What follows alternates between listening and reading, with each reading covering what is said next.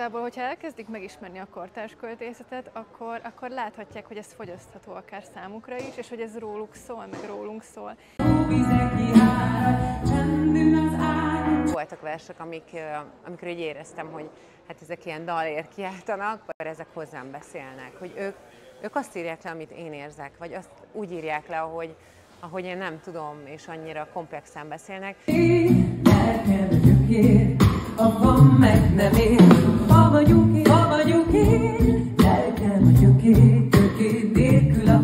Hogy a, a kortás női költőket sokat olvasom, mert nagyon jók vannak. Akit most, most így évek óta nagyon szeretek, a Lángorsolyának a, a, a költészete, ő egy ilyen fiatal magyar írónő. Ezt a fennmestepe, annyira vagy magyar, amennyire felnő.